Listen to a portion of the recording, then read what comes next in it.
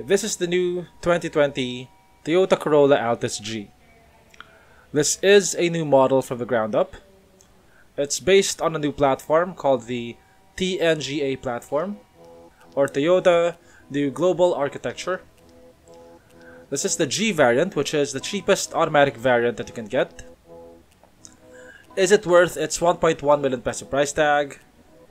Let's find out. The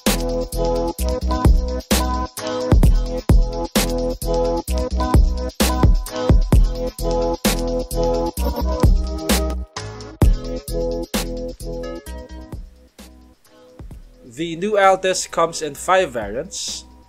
Uh, the base model is the E, which only comes with a manual transmission. The most expensive is a hybrid variant with Toyota's Safety Sense. It is the first time that Toyota will be introducing active safety features like radar cruise control locally, so I'm looking forward to checking out that variant. The design of the new Altis looks a lot less conservative compared to the last model. You have a lot more cuts, you have a lot more creases, and you have a lot more swooping lines. The most aggressive angle is here at the front. The most obvious difference here in the front is the massive grille, although the actual grille itself is not as big as it looks. Then you have these fake inlets on the sides of the bumper. This G variant doesn't have fog lamps, but there are provisions for installing aftermarket fog lamps.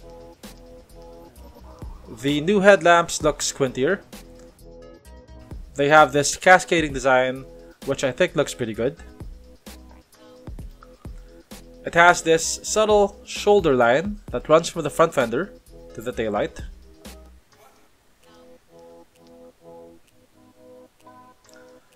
Speaking of the taillights, I think they look pretty good. They remind me of the taillights of the Lexus RC, turned upside down.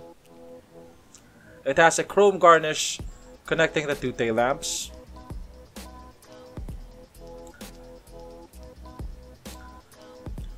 The Altis G comes with 16 inch wheels and it has 4 wheel disc brakes.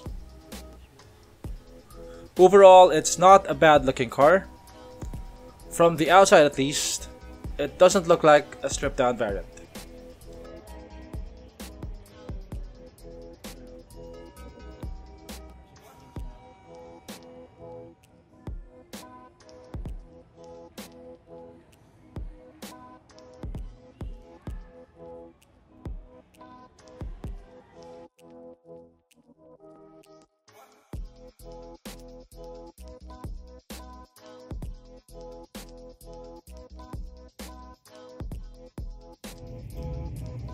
Okay, so this is the interior of the Altis.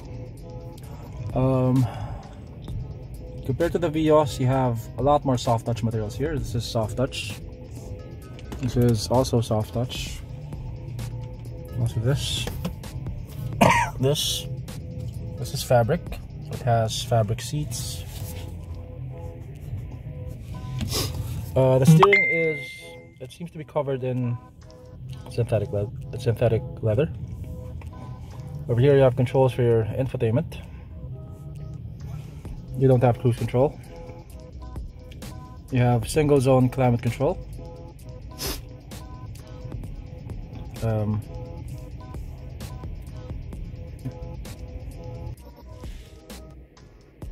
where are the USB ports, man? Oh, that's interesting. I can't find the USB ports.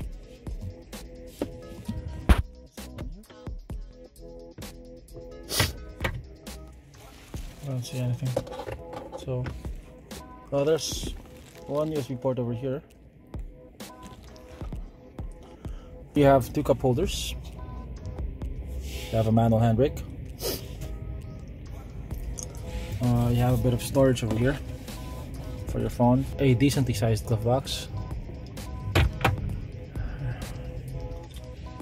Okay, one of the first things that stood out to me was this uh, head unit or at least the the way it's placed here Toyota uses the same aftermarket 2-din head unit on almost all of their cars. And it's this is that same head unit.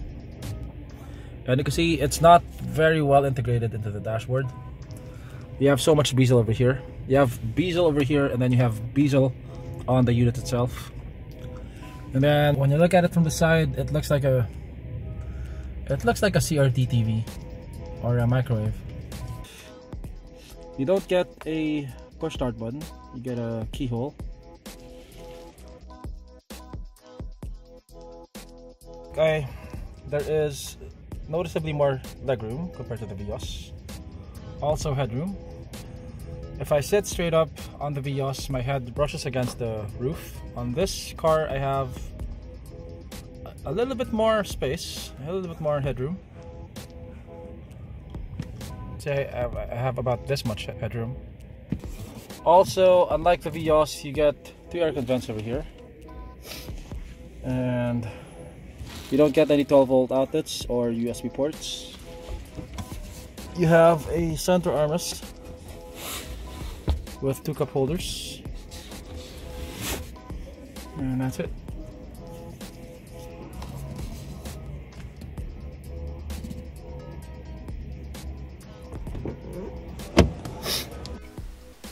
Compared to the Vios, the interior of the Altis looks a lot nicer of course. But compared to other cars in the price bracket, like the Civic and the Kia Forte, the interior of the Altis looks a bit bland in my opinion. Toyota went for a more minimalistic design on their interior. There are times when minimalism works, but there are also times when it just makes the car look plain. This is more a case of the latter. And the badly integrated head unit doesn't help at all.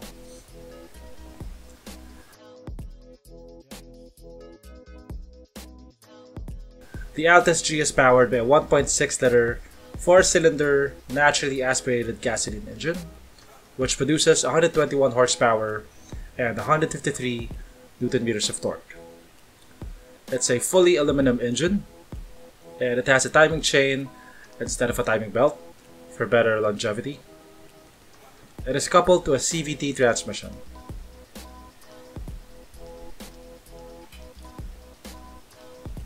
The car has a MacPherson strut suspension at the front, which is expected. What is not expected is that it now has independent suspension at the back. The Altis G doesn't have a lot of driver aids, and it doesn't have a lot of active safety features. It doesn't have a backup camera, it doesn't have parking sensors, and it doesn't have cruise control. But I guess that's forgivable for a for a semi entry level variant of the car. If you do step up to the top of the line hybrid variant, you get a lot more active safety features like radar cruise control, lane keep assist, and blind spot monitoring. The Altis G has 7 airbags though, which I think is at least one more than the Civic. The Toyota Altis G is a decent car. I can't really say that it's better than the competition in terms of features and design, but it has the Toyota badge which comes with a few perks. According to some people, Toyota is more reliable, it has better resale value, and Toyota has better aftermarket service. That's something that I can neither confirm nor deny, but it's probably something that's worth noting.